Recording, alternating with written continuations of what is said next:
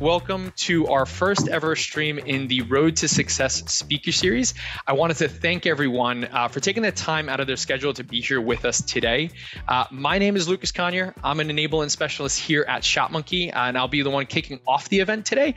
Uh, I'm a I'm a lifelong automotive enthusiast. Uh, at one point, wanted to be a mechanic. I was a, I was definitely pursuing that, but I just really enjoy uh, what is going on in the automotive industry, how things are growing and evolving, uh, and really excited to be here with Philip and the team to be presenting this topic uh, to the audience. So, um, this series has been put together with the goal of helping other shop owners across the industry by addressing popular topics and sharing best practices. Um, we here at ShopMonkey, we have an amazing customer base. Uh, they share the same passion in wanting to help the automotive industry, uh, and we're looking forward to presenting these sessions over the next few months. So, uh, stay tuned. We're gonna have be, we're gonna have more hosted throughout the year. Uh, we'll make sure to send out communications when those are coming out. Now, um, we do want to call out that you know we, we will be bringing shops in from various verticals of the automotive industry uh, and we do know that you know maybe not one size fits all when it comes to different types of shops. Uh, so we're, we're, well aware of that. You know we, we know there's a lot of general automotive shops out there. We have detailed uh, tint ppf uh, we have performance 4x4 shops and i think it's really fascinating how diverse the industry is. Uh, and we think that you know seeing what others are doing regardless of the vertical, uh, can help spark ideas and you know get you on your own road to success with information like this. So. With that being said, uh, we're here to kick off our Road to Success series with Philip from Titan Motoring to present today's topic the road to profits with shop processes and efficiency. Now, uh, before I hand over the mic to Phil, who is Philip? Well, Philip Lindsay is the Lindsley is the CEO of Titan Motoring in Nashville, Tennessee. Uh, Titan Motoring started in 2011 as a mobile dealership services company, and they started off with one single van. Uh, now, after they landed CarMax as their customer, Titan quickly grew to their first retail location in 2013. And after working seven day weeks for two years, if not more than two years, Philip. There, um, you know, they moved to a current 15,000 square foot location in 2015. Since then, they've grown to 34 employees. They've been the 2022 Mobile Electronics Association Retailer of the Year and grossed over 10 million dollars in sales for 2022. Philip, welcome. Thank you so much for being here with us today. I'm going to pass the mic over to you. Hey, thanks for having me, man. I'm glad to be here and and you know, ShopMonkey's been such an integral part of our growth. And so anytime you guys ask me to, you know, talk about it, good, good, bad, ugly, I'm, I'm happy to do it. So uh, this was actually a, a class that I, I, taught for uh, Mobile Electronics Association, uh, an event they called Knowledge Fest. Um, so I was asked to speak on on these uh, subjects, um, and it was kind of natural for um, for ShopMonkey and our management software to be part of that. Um, and so so this was kind of a, a snippet of that class uh, where we just talk about some of the things that we've been forced to do really because um, uh, it's not a lot of our natural tendencies to uh, put processes in place until you desperately need them. I know i speak for myself on that. Um, so it's come out of necessity uh, and so we you know a lot of shops are um, you know the last couple of few years have been been busy for for custom shops and automotive shops which is good uh, but it's really put um, some importance on having processes in place to you know make sure that you're being efficient with your time uh, and ultimately you know be profitable. I mean that's that's the goal um, with with all this. So um, so yeah so we'll get into some of that. I'll go over these would be kind of the four main points. Um, so first we'll hit up uh, we'll hit up software uh, which seems to be a pretty good fit for uh, for for, for this right now. So you know, people are using all different kind of stuff, and I don't know, you know, whoever's on this call as far as if they're currently using ShopMonkey or looking to use ShopMonkey. Uh, and we're not going to make this an infomercial. That's not really what this is about. Um, and in this class, I just like use something. You know, I got uh, other shop owners or friends that are, I mean, still using paper or uh, you know, really basic ways um, to manage their shop, whether it's two employees or 200 it really doesn't matter. Um, you just got to be using some management and it becomes more and more necessary as you grow uh, and we've we've you know really needed it as we've grown over the, over the last couple years and really seen a lot of these other ones just fall short. Uh, we were using six different programs basically uh, simultaneously between Google Calendar and you know QuickBooks back office and all these different things, paper check-ins. Um, so you really got to have something digital. That's obviously everything's digital now. It's all going to the digital age, uh, and so we looked at all the different ones. Um, and we decided to go with ShopMonkey simply for the fact that it combines so many different things into one, uh, uh, as opposed to using all these different things, as well as mobile. Um, and we'll get into some of that, but we do a lot of dealers uh, across three different states. Uh, and so having the ability for somebody to check in a vehicle via their phone uh, or do things on the road uh, became very, very important. So uh, I know when I was looking at different ones and, and over the years, it's like, oh man, this cost, you know, when we were much smaller, five people, 10 people, um, you know, it was always a cost thing. I was always so focused on cost uh, and, and just the immediate cost for software and not really looking at how much time uh, and, and money was I losing uh, in which time is money um, in, in, using all these different ones or not using them at all. Um, and and it came to the forefront when as we continued to grow that we needed to have something you know much more uh, robust to make sure that we were being as efficient as possible. It became again out of necessity. So um, so yeah, so that's why we decided to go with, with ShopMonkey. So uh, hit that next slide for me. Um, so, you know, the, the biggest thing that we love about uh, the one that we chose, which was ShopMonkey, um, is we have a full workflow that I can really very quickly kind of see everything that we have going on. Um, one of the later slides we'll get into kind of, uh, I have a screenshot, I think, of our actual um, ShopMonkey uh, and the way that we've customized it to work for us. It's one of the reasons I love it. Uh, is you can really make it work for you um, with columns and you know we've even played with different ones. We've changed the way we've used it but the point is, is it can be it can be changed um, to really work for you. So we have all our sales guys have columns with their tickets they're kind of building or working on but haven't closed the deal yet uh, or they need to order parts or anything that still needs action from them. Uh, and then we have ones like scheduled uh, projects here daily in progress and then of course completed. Um, so you can add and take away columns. That's one of the things we've really loved about it.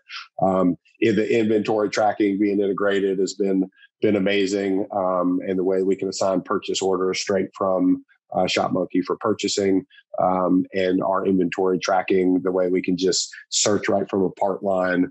You know, guys know, you know, hey, I don't know the whole part number or the whole thing, but I remember it was, you know, this line in that brand, and they can type that line name in and it'll pull up all those uh, that are in that line. So the searching and, and inventory has been uh, pretty awesome um, and saved a ton of time uh, where we can generate tickets very, very quickly.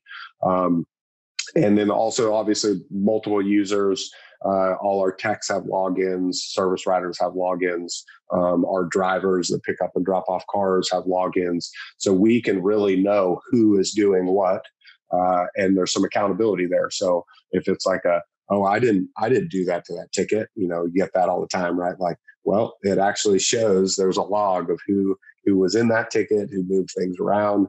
Uh, so really has some accountability um, as opposed to trying to figure out where a mistake was made and, and not really knowing uh, with the goal of, of just eliminating those errors in the future. It's worked really, really well. Um, the biggest thing, uh, or one of the, there's so many big things, but one of the biggest things is the, the vehicle inspection. So uh, I mentioned that we were doing a lot of dealership work. Um, you know, if you're driving a car, picking it up from a dealership, bringing it back to your shop, it really becomes necessary to have, um, you know, to eliminate the the risk there. Uh, you know, dealers, oh, oh, that scratch wasn't there, uh, that that wasn't there when we gave it to you, and so we're able to take pictures all the way around the vehicle, post them, um, and send those to to our dealer contact before we ever take the car off the lot. So, um, you know, oh, that wasn't there. Well, it's actually still in your lot, and you can see it in the picture. So, the um, you know, cutting out those liabilities uh, and not paying for for dumb stuff. Um, you know, scratching something or something you didn't even do, uh, but you don't have a way to prove it wasn't you. Um, those things uh, add up over time. Um, and I know that uh, the, shop owner that I actually taught this class at Knowledge Fest, uh, he determined before he started doing photo check ins the year before that in incidentals, so hey, that scratch wasn't there. Hey, that that wasn't that mark wasn't there, and paying to fix those because they didn't have any proof that it wasn't them. That the year before he started doing inspections, you know, photo inspections, that he spent ninety two thousand uh, dollars the previous year on incidentals. Uh, and I don't know about any of you guys, but uh, ninety-two thousand dollars that just extra to have for whatever you want to spend that on, equipment or a vacation or hiring the right person. People talk about hiring, you know, having that money to pay people uh, to to invest in your business. You know, that, that's that's not a small amount of money. So uh, super important to get rid of those liabilities and have them all in the ticket and sent to the client. The level of professionalism is just uh, it's unmatched. So uh, we've really enjoyed that uh, those digital uh, vehicle inspections. Um, so yeah, so hit that next one. So we're um, one of the things. This thing says fast estimates, and and I want to elaborate on that. Um, for you guys that don't use ShopMonkey or don't use this part of ShopMonkey, if you currently use ShopMonkey, so we're able to do canned services. So uh, it has made where we can do estimates so quickly uh, and and we do uh, just kind of a quick overview. So so my shop Titan Motoring, we do a lot. We do vinyl wraps and window tint and full audio builds, uh, sprinter builds, front to back. We do all these things. Uh, and some of the jobs we do are, are very detailed and have a lot of lines of labor and product and, and materials. Um, but some of them we do more than once. So uh, I'll just give you an example. So a blackout on a new Cadillac Escalade. So there's a sport model Escalade that's all has all black trim and everything's black on it.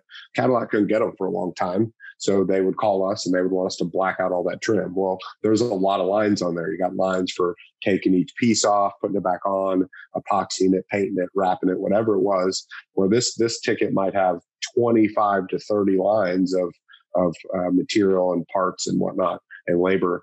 Um, and so basically, if you generate a ticket one time and you want to do that job again, or even not the same exact job, but something very similar, you can go back to your original ticket, one that's been closed out and done deal and archived and it's you know, paid three months ago, six months ago, doesn't matter. And you can can that entire ticket or that one job as part of that ticket. And then you can literally just go into a new ticket and pull that entire thing up. Um, or you can duplicate a ticket. You can duplicate one word, you know, word for word, and then edit it and do whatever you want to do to it. So the we have now canned services for a lot of our most common things where you know could take 20, 30, 45 minutes to generate a ticket. Uh, and now tech can do it in three minutes. I mean, the amount of time savings there has been huge. It's, it's one of my favorite things about it. Um, and I keep saying, I keep moving and saying, this is my favorite thing. Oh, oh wait, no, this is my favorite thing. Because uh, I see the next one. Um, so two way text and email. So, so we've had two situations over the last couple years.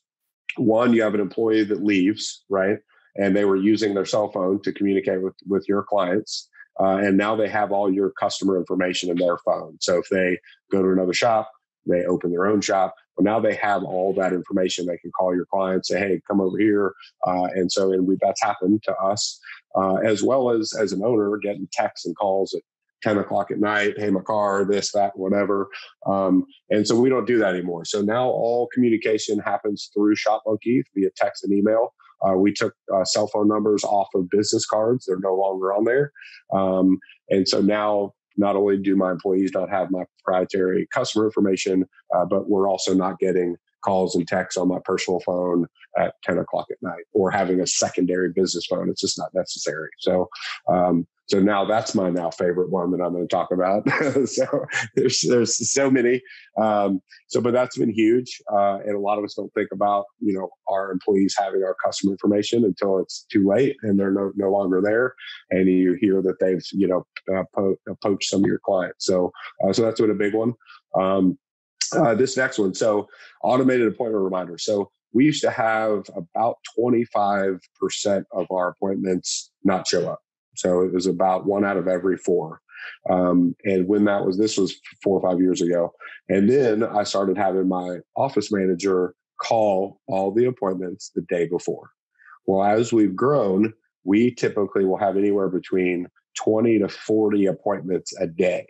So she was spending an hour ish, you know, hour, hour and a half calling all those people. Now we saw our, them our missed appointments or canceled appointments go down significantly, obviously, but she was spending a lot of time doing that. Uh, and again, time is money. So uh, these are all automated. As soon as you set the customer appointment, they're going to get a notice automatically the day before. So right there, now she doesn't have to do that anymore. So say it was an hour a day, that's now five hours uh, that that one employee can spend doing other things for the business. So uh, that efficiency right there has been has been huge. Um, the photos and videos, I go back to that last one, the, the, the last, so the, the photos and videos on the bottom of that. So obviously we talked about check-ins. That's, you know, that's what it is. Uh, it was pretty self-explanatory, but we're able to um, not only the tech can add pictures in internal notes for, hey, this is where I mounted this. Hey, this is a behind the scenes picture. Uh, if you want to show that to your client, uh, this is where we, you know, in, anything that the tech wants to communicate or we want to show the client before we put something back together so they can really see what's going on behind the scenes of their vehicle. Uh, this has been huge and people really love it. Um, and and just multiple people have come in and said the level of communication and professionalism that they've seen strictly because of of us using ShopMonkey uh, just I can't even count how many times that's happened. So it's uh, it's pretty neat. So uh, internal notes and photos and videos have been have been awesome. Um, so yeah, next slide. Um, so uh, this uh, I'm going to say it again. So this this is one of my favorite things. So uh, so I I you can turn on notifications from ShopMonkey as as much or as little as you want. So I have payments notifications turned on. So I get a text message when somebody makes a payment. Um, and I, I mean, I've been at dinner at, you know, eight, nine o'clock at night and I've, you know, $35,000 deposit on a $70,000 job or 10, whatever. Uh, and, you know, put a big old smile on my face. So, um, so, but the fact that clients, you know, what, what's happened is, is the amount of time that people are interacting with um, my my sales guys are interacting with clients at my counter has gone down. Number one, we can send them the, the estimate, we get all their info, and we can email text it to them, and so they don't have to sit there while we build their estimate. Uh, number one, number two, they can look at it from the comfort of their home that night. So the amount of it's like we're open all day. It's like we're open twenty four seven. So we get deposits where you know a husband came in, got a quote, we emailed and texted to him, and he's sitting at home with his wife at nine o'clock, 10 o'clock, sitting on the couch and showing his wife the quote. And she's like, you know what? You know, I love you, babe. You should just do that for your truck. I think you you deserve it. And so 10 o'clock, boom, deposits. So the amount of deposits that we've had after hours is insane. We probably have 50% of our um, ones that don't happen in the store, probably 50% of them happen after our business hours. Um, so that's been huge. Um, a lot of people and guys that use QuickBooks have, have asked me like, you know, hey, can this, you know, integrate with my my QuickBooks back office and all that. Um, and all that stuff has has been integrated at this point. So that's been really nice. Um, the the reporting uh, and data that's in ShopMonkey has been really really good. Uh, just to keep track of metrics right there at your fingers, and of course we do dealers. So anybody that does dealer work knows that you know, you got to have customer aging and be able to send statements and all that. So that was one of our top kind of five things that we needed to have with the new new setup. So uh, it works great, um, and you know, I haven't I haven't seen anything lacking um, with that. So um, it's really got all the info we need. So uh, hit that next one for me there, Lucas. Um, all right, so employee handbooks. So, uh, you know, the question is who has one and who doesn't, and uh, it's it's normally a pretty even split. Um, Lucas, you want to do a poll for this? All right, yeah, let's do a poll.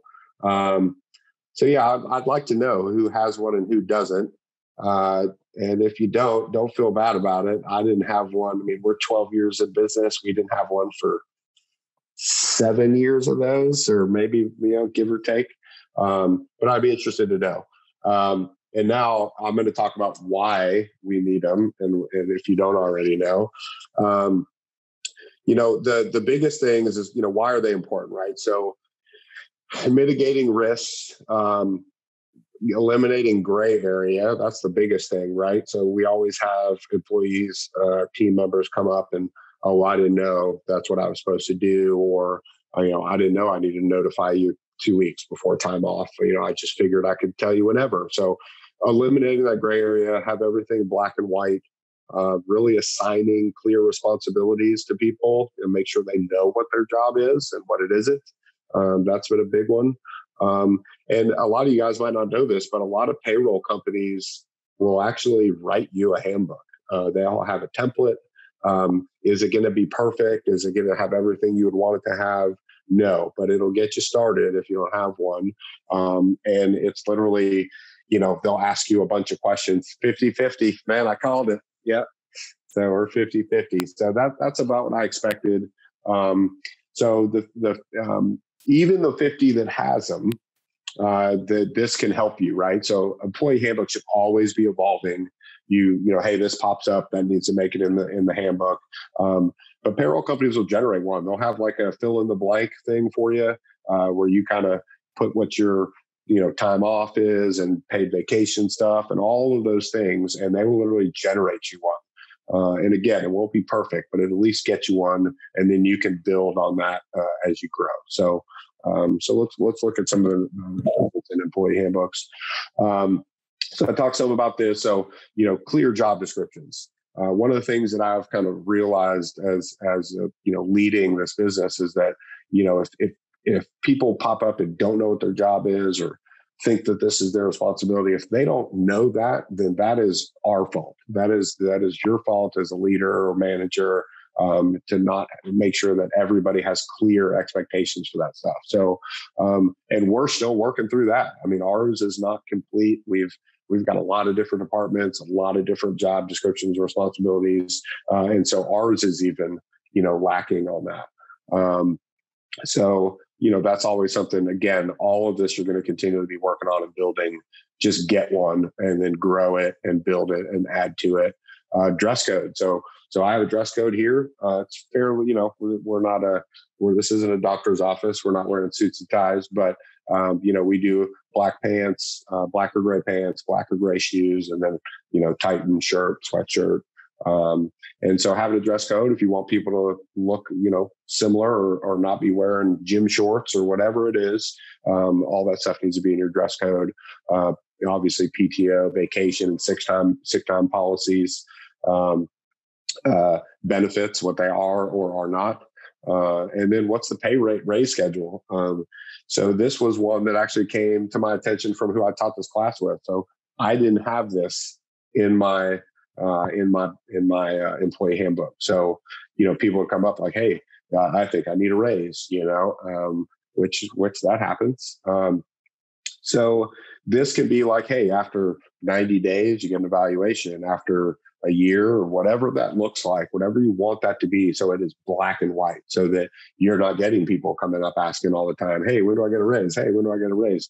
Um, so just eliminating that gray area and setting expectations. People know hey, I got to be here for this long before I can ask for a raise.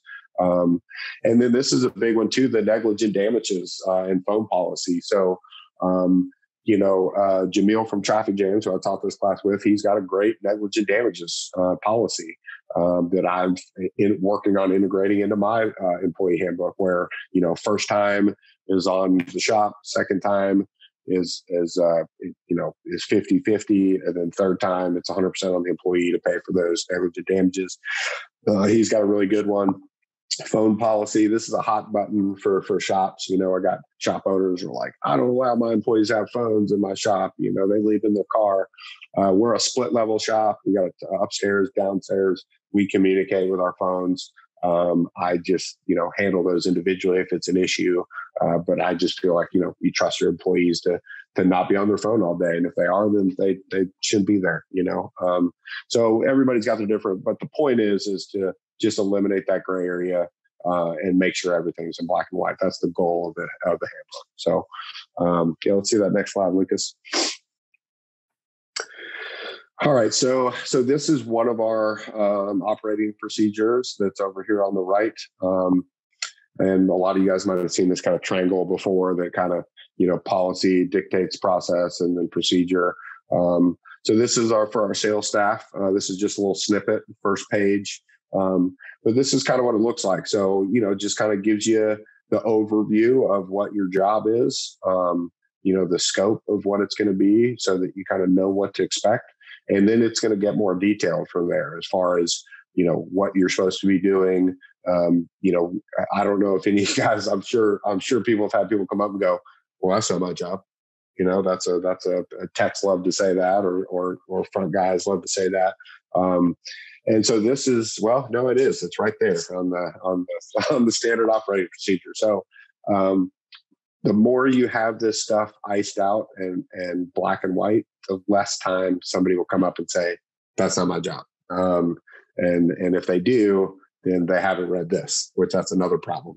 that needs to be a, an individual employee meeting. So, um, so anyway, so uh, this is really good. And, and again, I don't even have all these done for my business. Um, we've added departments, um, added stuff that we're doing, and so we have to create that you know new. And we add a new service uh, because we do about about 12 different things in this building.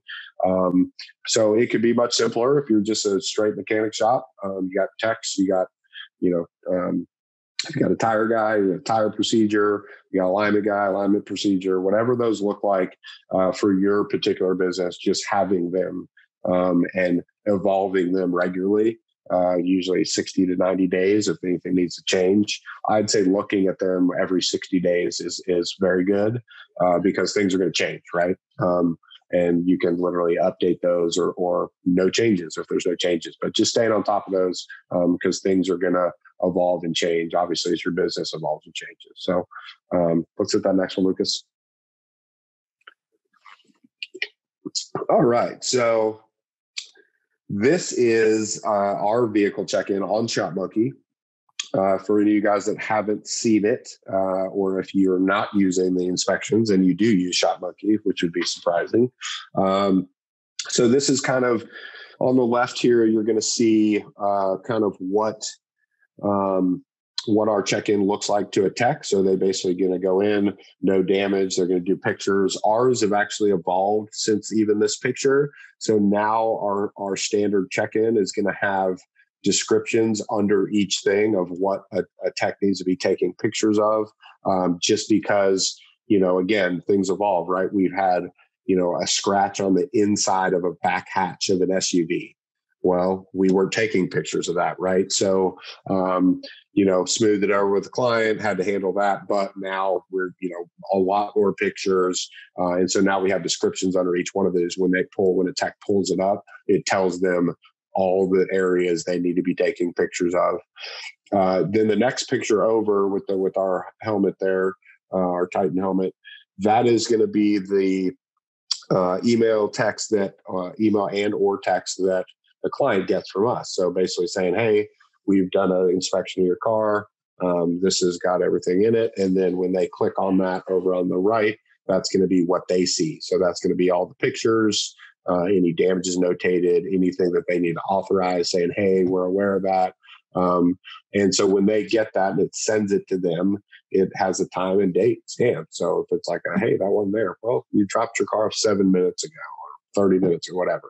Um, so the, the amount of people that have just said that they felt more comfortable with their car, like this one in this inspection was a, a 2018 McLaren, you know, high end vehicles, uh, you know, picky clients, these their babies. Some of these cars are, you know, their second biggest investment, you know, above beyond their house. Um, and so the them feeling comfortable um, is is this that level of, of of professionalism uh, is really achieved by doing this. Um, and the fact that it's all integrated in. The other cool part, a lot of you guys, even that use ShopMonkey, uh, might not know this. You can print out their receipt with all of this on it. So when when you get done, it can have all your me- it can it can have or not have all your messages that you, ha- exchange back and forth, the inspection, everything in the printout that you give them um, so they can really see everything that's been done since the vehicle's been there and all the communication. So uh, pretty cool. It's been uh, it's been a game changer for us. Um, So you know we're talking about profit, right? Um, and and the, this is the the road to profit, road to success, um, which I I think is the same same thing, right? Uh, in my eyes. Um, so a lot of questions that we've had across um, when I've been teaching this class is labor rates. So you know, oh, labor rates, oh, I can't charge that in my area, or you know, that's too much. We we can't charge that much, you know, where we are. So the generally the question that I ask um, when I when I when I get told that is, do you have a Mercedes dealership in your market? And I think just about everybody has said yes. Uh, and then I said, well, do you know what their hourly rate is? Um, most of the shops uh, are, you know, most of our shops are you know high level. If you're getting to the point where you're using ShopMonkey or a similar you're you're professional right? I mean this is a professional level software for professional shops. Um, and so you should be charging accordingly. Um, i'm not saying you need to charge what a mercedes-benz dealership charges but uh, use that as a metric for what you're what you're going to charge. Um, you know I, I, the biggest thing is really looking at those numbers you know what your what your overhead is, what your employee payroll is, and all of that, and make sure that you're profitable. None of none of this matters if you're not being profitable. Um, Got to be in the green. Um, ShopMonkey wants to see you in the green. You know, if you want to pay for their software on a monthly basis, they need to see you making money. Um, so it's a mutually beneficial for everybody. Uh, and obviously, you know, you as a business owner or manager uh, to to be making money. That's the whole goal. Um, so really look at those dealerships in your area uh, and, and use that as a metric to, determine what you're going to charge. Um, it should really, the, you know, your labor rate should, you know, be profitable for you to grow your company. Uh, I heard one of the comments at the beginning was, you know, hire qualified employees. Um, as we've grown to you know mid 30 employees 30 33 34 wherever we're at right now um, i ask people people ask me all the time like man how you hire how you get these guys? How are you hiring these qualified guys?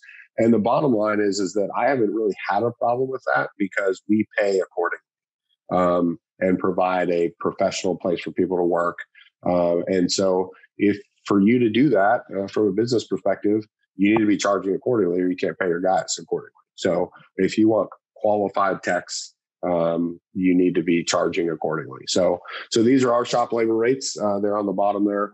Um, so we again we do a lot of dealership work. Uh, so we have a wholesale rate for car dealers. Um, that's one nineteen an hour. Uh, we have a preferred hourly rate that is you buy whatever we're putting in from us. So you bought your radio from us, your suspension, wheels, tires, whatever it may be. Um, that's your purchasing from us. Uh, and then we have a standard rate, which is if you buy your stuff online or elsewhere, uh, we will still install it, but you don't get our preferred rate. Um, some shops won't even install supplied parts. I get that. Um, that's a debate, goes back and forth. Um, we've done well by saying that we'll we'll put it in and we will charge accordingly. It's not our preferred rate.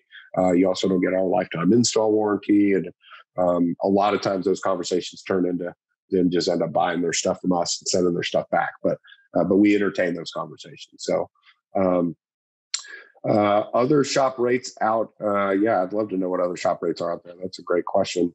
Um, I think we're about average. Uh, I've you know I found out when I taught this class last time that uh, down in Atlanta he was charging charging more than us. Um, so we're we're going to be looking at our shop rates again.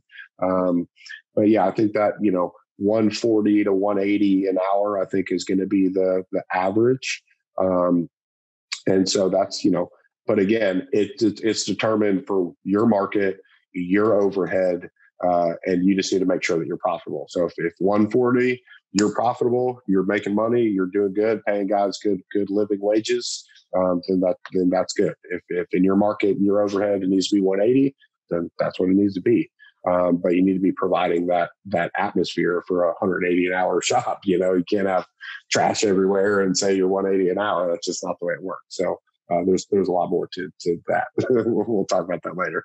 Um, yeah, hit that next one, Lucas. So this is this it, later is now. So um, uh, so you know.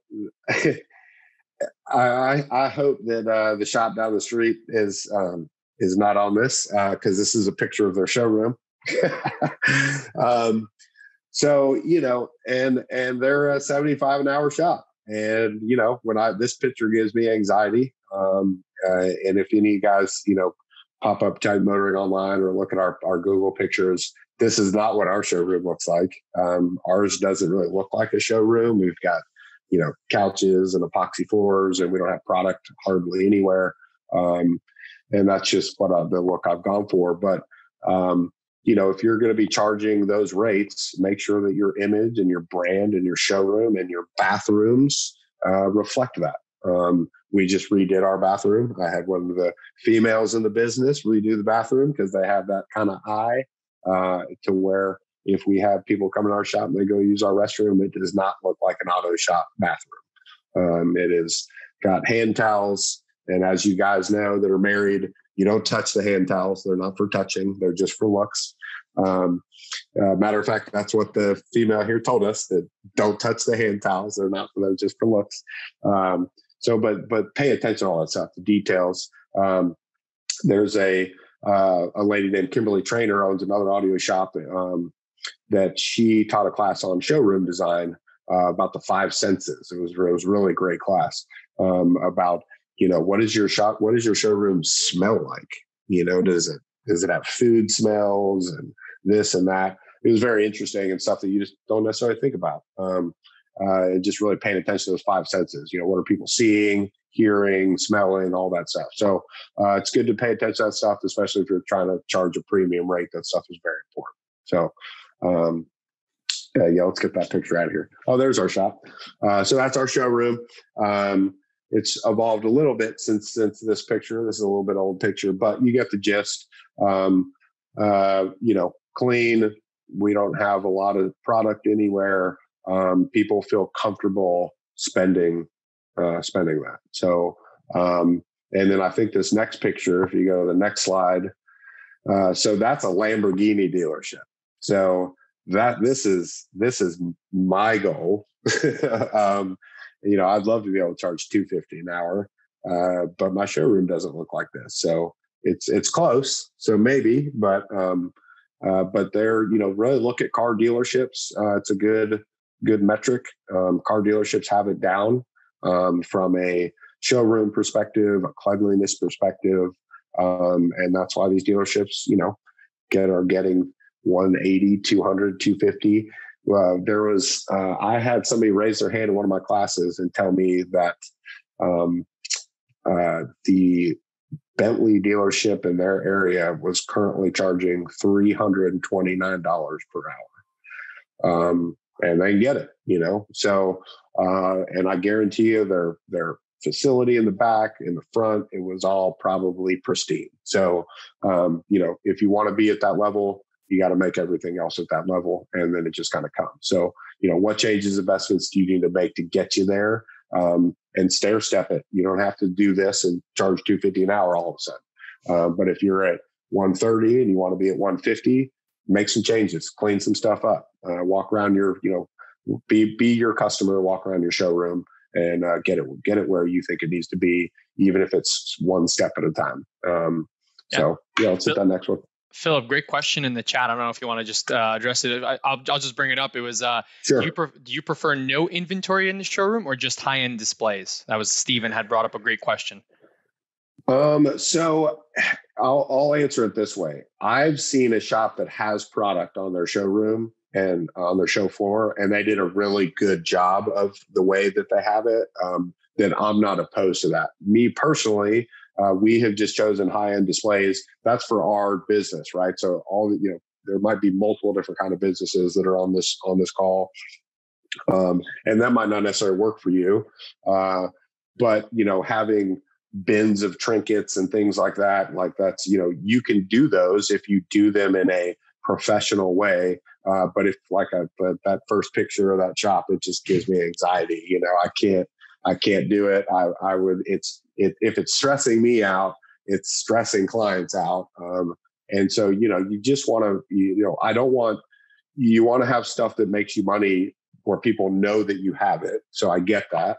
Um, but you just need to be smart about it, right? So uh, if you have product that needs to be displayed, making sure that it's, you know clean and it's you know dust free and you have it in an organized way and not just all over the place um, because nobody uh, you don't want a customer with anxiety. Customers with anxiety don't don't spend top money on tickets. And i'm sure there's some loss prevention in there as well right? More inventory on the floor a little more risk as well. So i could see that playing a little bit into the decision. Yeah absolutely. Yeah great. All right. So this is another uh, uh, hot point for me. Um, uh, Lucas, can you pop a, a, a, poll up for this? Would that be a big deal, or would that take a little bit of time? Can, can we pop a poll up to see if we can I, do find out I who's charging? I, I, could do I could do a poll on the spot. So uh, okay. What, what we want it to be? What are we charging right now? I would like to know, uh, yeah, if, if, people are charging shop supplies, well, probably everybody's charging shop supplies, but I would like to know what those are. are they one to three percent, four to six percent, seven to nine, or whatever. Just maybe some different categories there. Um, so I have been so surprised at the amount of people that don't charge shop supplies. Um, we're using shop supplies. I don't really care what your business is or what category of automotive that you've got. Uh, you're using shop supplies, whether it's a rags or tape or or whatever it could be, cleaning supplies. Uh, we're using them. So, um, so and everybody's got different methods for this. Um, I just want to make sure people are charging them. Uh, similar. Um, when I taught this class with Jamil, I found out he was charging more shop supplies than I was. Uh, and so I'm like, man, maybe I need to go, you know, go back and check that. So, um, so currently we're at nine percent um, of labor is how we charge our shop supplies. Um, you know, some people cap it uh, or or whatnot, and we can, if we have some huge, huge jobs, we can look at those individually. But mostly across the board, we're nine percent of labor, um, and I got to be honest with the way that it's in there. I mean, basically, the only place you see it, I'm not saying we're hiding from people or anything like that, but it just hasn't been an issue. I mean, people go to dealers, they got, you know, EPA fees, and people are used to those things at the bottom. Um, and it's just down there with your tax. You know, it's, I don't get the tax. Tax isn't for us, goes to the state or whatever. Um, I just don't have anything say anything about it. Uh, interestingly enough, the only people that I have had say anything about our shop supplies are dealers, which charge shop supplies. so, you know, but they're looking for it, you know. So I had to do a dealer rate shop supply thing for this one dealer. But uh, point is, you need to be charging. Um, you need to be looking at what you are uh, spending for shop supplies. Make sure that you know you're covering it. Uh, disposable items, anything that you're using needs to be covered by that. That should not be coming out of profit or your bottom line in any shape, uh, shape or form. So, um, super important. And again, I was blown away on the people that were not charging shop supplies. Um, we have two so, that responded 10% or more. Yeah. And that's, so that's where Jamil was. Uh, he was over Thames 12%. Um, and I think this three to seven is probably, that's what I would have expected to be the most common. Um, and I got to be honest, I don't know if you're on that lower spectrum, the three to five. I, you know, I just don't see that covering. It depends on what kind of business you're in, for sure. You know, um, but I think that you're barely covering, and it should be covering more than enough. Uh, it should even be potentially covering, you know, things like, um, you know, having a guy come in and do stuff to your floors. You know, whether it's polishing your floors like that that's wear and tear on the floors. It, it, can you can cover that stuff if you're charging the right amount of shop supply. So it's it's wear and tear on equipment, equipment repair, things like that should be ultimately getting covered by your shop supplies. It is the goal anyway. So um, and again, I just don't get any kickback on it. Uh, and plenty of shops out there well over 10%, 12 and, and whatnot. So uh, something I'm looking at uh, for our shop as well.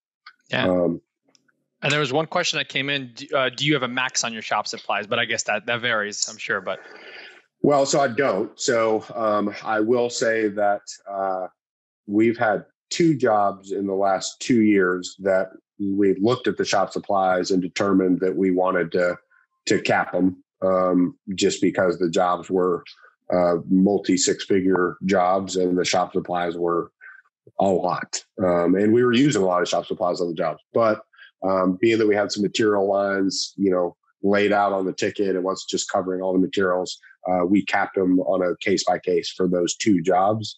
Besides that, we don't cap them. We we just we we let them roll. So, um, go to that next slide. I don't know if this slide made it on here.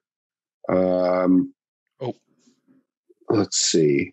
So, uh, no, I don't think it made it on here because this was one of Jamil's slides. Um, so, oh gosh, what was it?